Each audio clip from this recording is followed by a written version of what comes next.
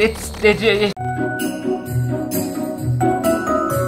Hello everyone and welcome to a Christmas special of the Blind Pinterest Challenge, the series where I recreate Christmas crafts from Pinterest without any instructions, because that's what Santa would want, and I've been I've been a good boy this year. I haven't, I've been a very bad, bad, bad boy. Imagine if Santa was real and he totally came down and told you you've been a bad boy. As like obviously a grown person or a bad girl as a grown person. How ridiculous would that be? It would sound like a bit sexy, wouldn't it? As if he's gonna get like the whip out. It's just where my mind went there. I'm just thinking out loud. Let's find some Christmas crafts to make. Okay, so the first Christmas craft project I want to try is this very upscale, very fancy and sophisticated dried orange wreath. And I've made a lot of wreaths in the past, but this one definitely seems more upmarket than the past wreaths that I've made. Just seems very adult, very unlike me. But I think it's quite nice and I think I can do it. Fingers crossed. The second craft project I'm thinking about is this little milk bottle with like a very cute winter scene in it. And I think it's absolutely adorable. I think it'll be relatively easy to make. It's kind of giving me the fairy teacup vibes, but in a milk bottle. And I love the fairy teacup, so I should, in theory, really enjoy the milk bottle. The next one that I want to try is this Grinch hand. And I'm not entirely sure what kind of the purpose of this decoration is. Like, I don't know where you would put it. But I suppose they've hung it on a wall. But it just seems a bit out of place. I feel like this needs to be in amongst something else. You need to kind of create or build like a scene around it. But I still think it's quite nice. It's very simple, very minimal, which is a bit gross, but it's effective and you know, that's that's that's nice I suppose. But I do like the Grinch. Is the Grinch on this one? No. Who's that? Oh, it's Freddy Krueger, isn't it? It's not the Grinch. Like how we go from Grinch to Freddy Krueger. You are all my children now. I also fancy making this upcycled bowling pin into a snowman decoration.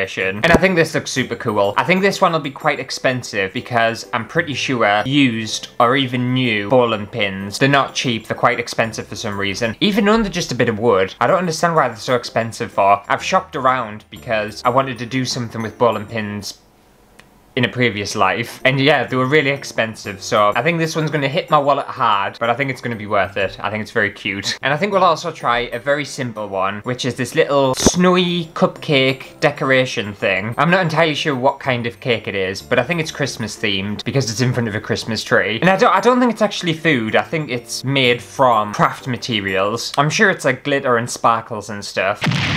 Thus, the Powerpuff Girls were born! And I think that'll do it for all the Christmas crafts in today's episode. I think I've got a good, good range. I don't think there's a huge potential for a lot to go wrong, but you just never know with these episodes, do you? You never know. You never know with me, full stop. Lots can go wrong, or nothing can go wrong. It's very rare nothing goes wrong, though weird that, isn't it? But I'll see you in a few weeks and we get some Christmas crafts sorted. Oh yeah, Christmas. Love Christmas. I don't actually, I don't like Christmas at all. Prefer Halloween. I can't be asked with Christmas this year, I've just realised. I really can't be bothered. Maybe these Christmas crafts will change my mind and bring me some Christmas joy. I need Santa to put his joy inside of us. Filthy, Anthony, filthy. You're dirty. Supposed to be a family-friendly channel and you just turn it into filthy, disgusting.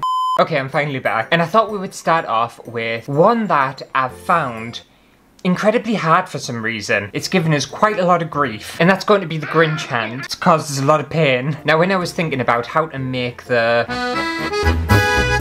the kind of like hand bit that like bends around because I wasn't quite sure how they'd done it. I was initially thinking form. I think form would be an obvious idea. But then I was thinking if you think about like a pool noodle, that kind of form, it's just gonna bounce back, isn't it? So it didn't really make any sense. So my idea was to use this corrugated paper cardboard stuff and roll that up into one tube and hot glue it together. Then cut a second piece down to a much smaller size and do exactly the same again, roll it up and hot glue it together. And then I wasn't really sure what to do at this point when I had two pieces. I obviously needed to attach them, but I wanted to attach them so that it didn't look weird and messy. So I decided to just hot glue some of this corrugated cardboard to both of these pieces and kind of trim it down and just kind of like hope for the best. Just, I don't know, I, I think I just like guessed and just hoped that it would magically look how I thought it was going to look. And after I'd wrestled with that for a while, it was looking a little bit like this. And I'm not gonna lie, it doesn't look like how I wanted it to look, but it's too late, I've made it, and I'm just gonna have to go with it. Now, in their original idea, they used just a regular green glove, and I thought I would actually put the effort in.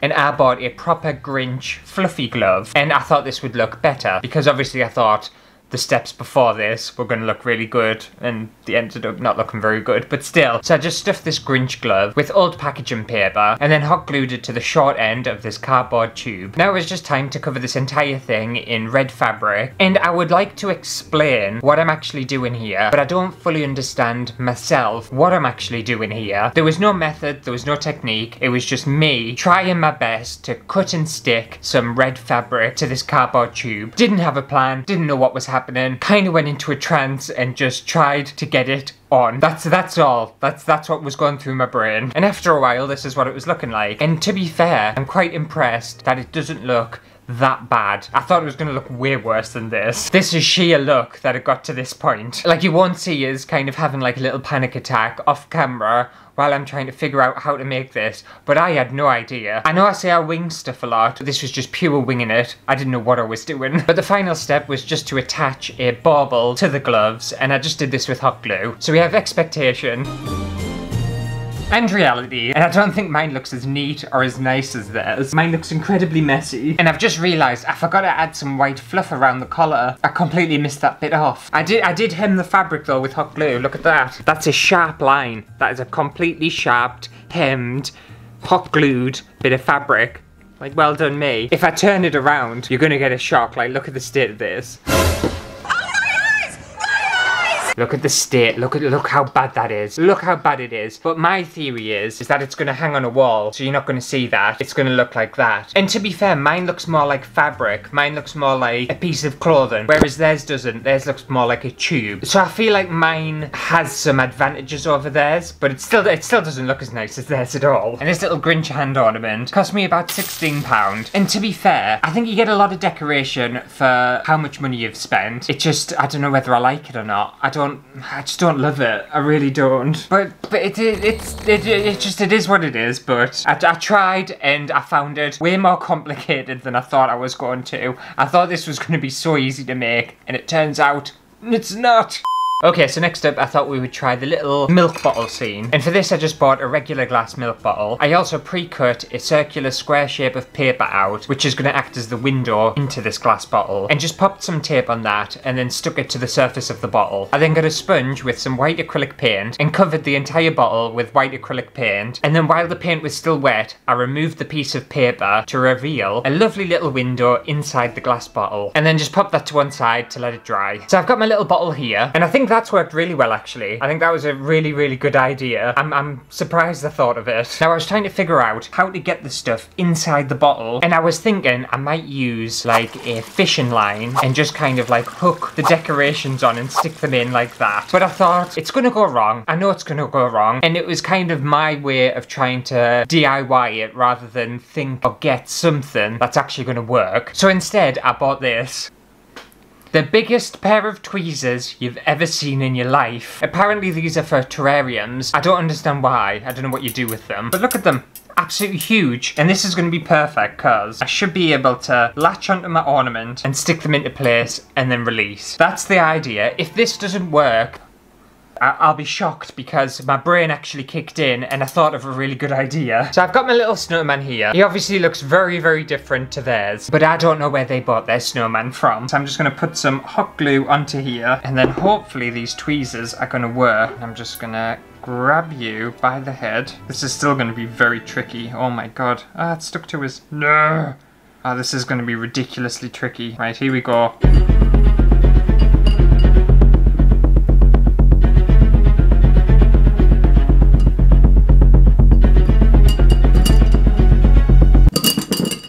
Well, it's stuck in. I didn't. I didn't get any control over that at all. Ah, oh, ah, oh, glued it perfect. No way. I got it perfectly in. I didn't have any control over that. Everything just happened. It was very quick. Okay, great. Ah, oh, fab. I'm off to a good start. So now I want to attach my what you call it, a lamppost. Couldn't think of the word. I assume this is what they use for like building them ships in bottles. These big tweezers. We're going in for it. See what happens.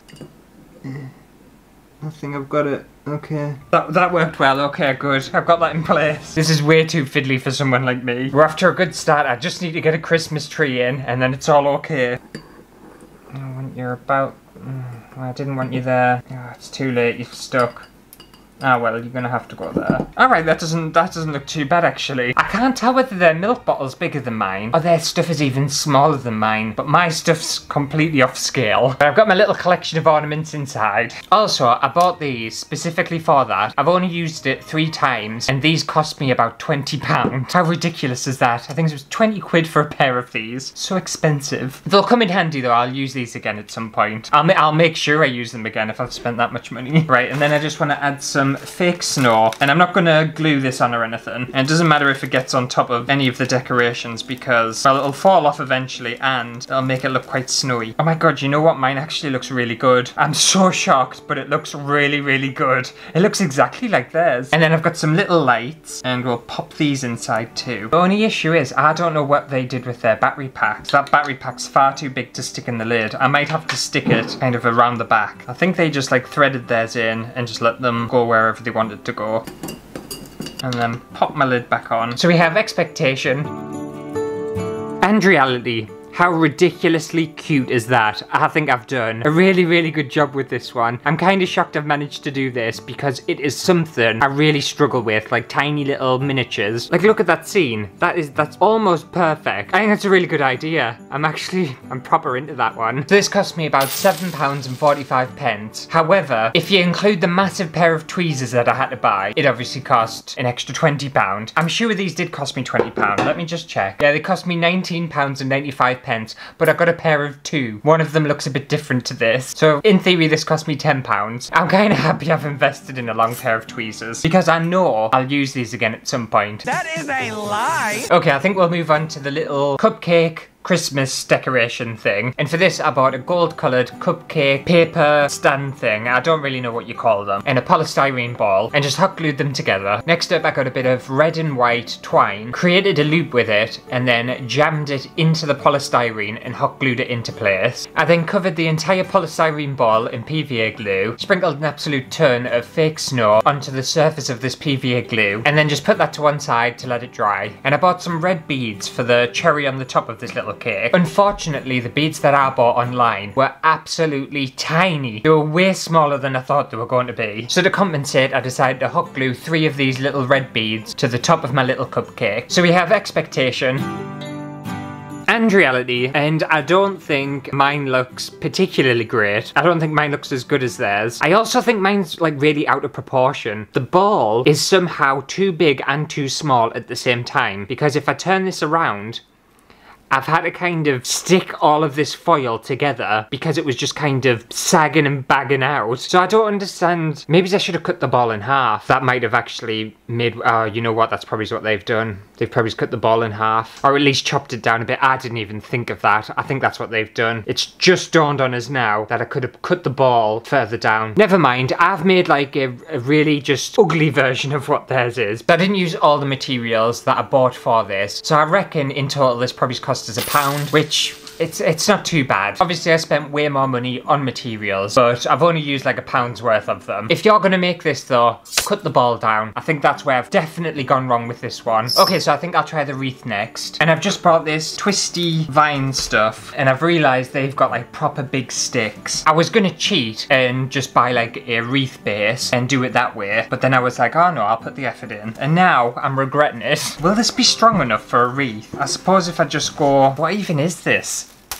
Making such a mess. It's fine, we'll figure this out. It's an issue, I can't tell how big they've made theirs. I think theirs is only about that big. So you know what, I'm gonna cut that off.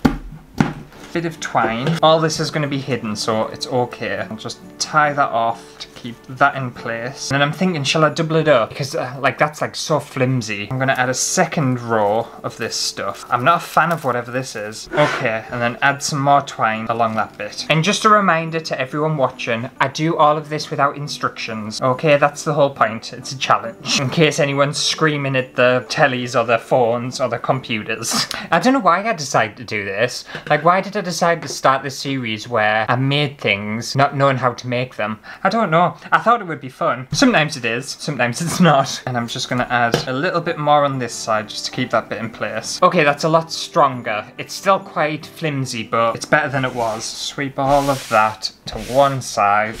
And I'll deal with it later. I think the best thing to do first would be oranges. So I bought myself a big bag of dried oranges, not realising that I actually have lots of dried oranges already in the studio. That's what happens when you've got so much stuff. You forget what you actually have, and you don't realise what you don't have. And you think you have things, but you don't have them. And you think you don't have things, and then you end up with double or triple the things that you didn't think you had in the first place.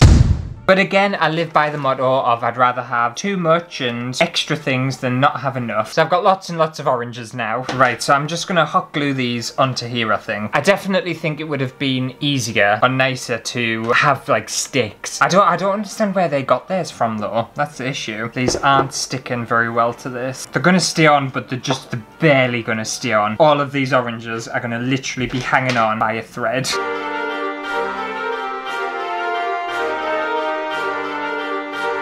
Okay, I think that's enough oranges. The fact that I got these oranges stuck on is an absolute miracle, it really is. Okay, so it looks like they've got a bit of burlap on the top. And I think they've done it in a ribbon, but I'm just gonna try and cut a little bit of this off and try and create like some sort of bow. I think something like this as well. You want it to be quite like rustic, don't you? You don't want it to look perfect. Tie that into some sort of rough bow. And then they have a little wooden star on the top.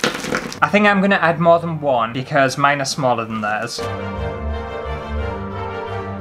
Okay, and then down the side they've got some like little foliage stuff. Should I just thread mine through? I'm just wondering if I can just like attach it like that rather than having to hot glue it. I know theirs didn't have berries on, but mine's going to have berries. I feel like I'm definitely making this my own now. I don't think I'm following theirs at all. But I noticed they had some sort of gold up at the top, and I've still got some of these poinsettia things, so I might just stick some of these on. And I do have a confession to make. They have little bells hanging down from theirs, which look really nice. And I did buy some bells. However, my bells are absolutely tiny. I don't really see the point of putting them on, because well, you're barely gonna even see them hanging down. You know what? I think I might be done. I kind of like mine how it is. I don't want to add too much to it. Let me have a look.